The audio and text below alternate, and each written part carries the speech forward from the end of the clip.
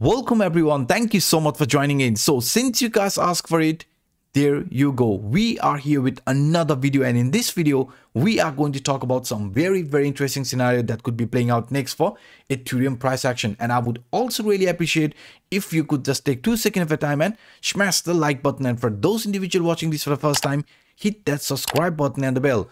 So now starting this analysis of Ethereum in a daily time frame, right now for us in a daily time frame, the most important trend line is this rising trend line because this rising trend line is not just only acting as a line which is showing us the possible trend duration, but it's also acting as a strong line of support. When we started this rally here to the upside, you can see with each and every price pullback, this rising trend line was a very, very strong line of support.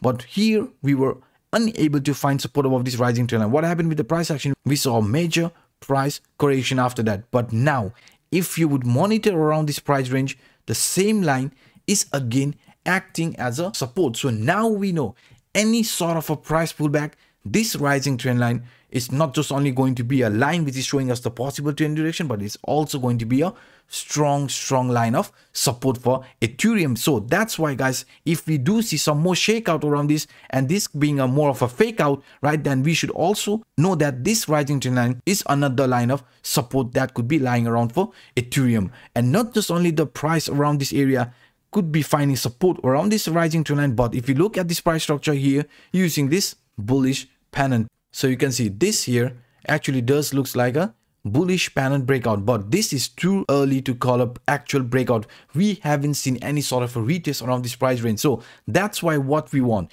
If this is an actual bullish pennant guys then you can see this is how a pennant actually looks like. Flagpole consolidation right? Breaking out this resistance line there we see the breakout scenario happening. And this breakout price target is usually measured from this flag pole. So if the flagpole is going to be this one in our case, then you can see the price target here for this bullish pennant actually looks very crazy. So it is actually indicating the price of Ethereum could see a move around this 4,800 to 4,850 price range. So let's see how true this one is going to play out for Ethereum. But if you look at this here in a bit different way, let me also show you this one interesting chart.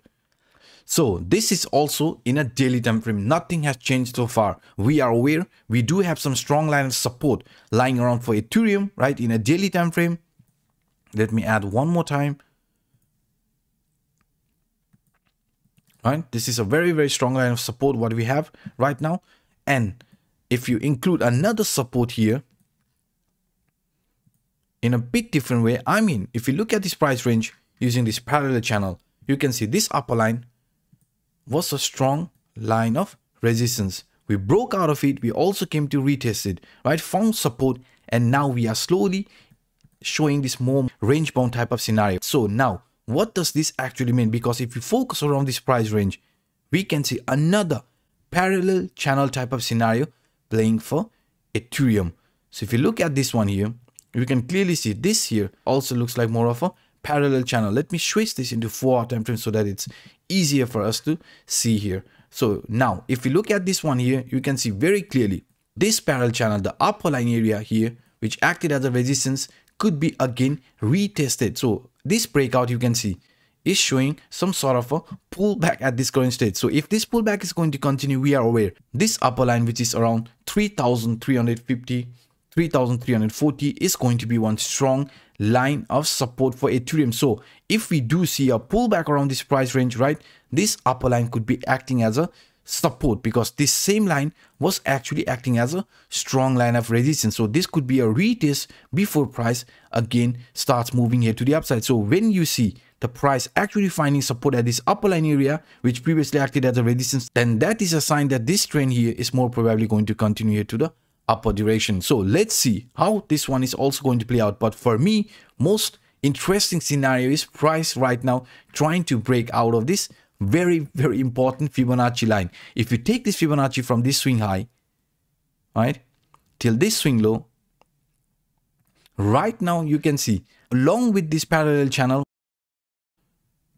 right, this parallel channel which I just showed you, the upper line area, but also the 0.618 Fibonacci line, important line of resistance and also line of support the price of Ethereum must hold if this trend wants to show any sort of a continuation here to the upside. Because if you remember properly, every time when we have talked about dead cat bounce type of scenario playing out, right, we have said not the 0.5 but the 0.61, it is the most important Fibonacci line. So getting rejection from this 0.618 could be an indication of an dead cat bounce type of scenario. But in our case right now, you can see the price of Ethereum looks like it's also breaking out of this 0.618 and that is actually a very, very bullish sign guys, to be honest. Because if we do manage to find support above this 0.618, right, right now lying around 3,366 or $3,350, if support is going to be there, then we could be actually expecting some sign of consolidation and again price trying to break here to the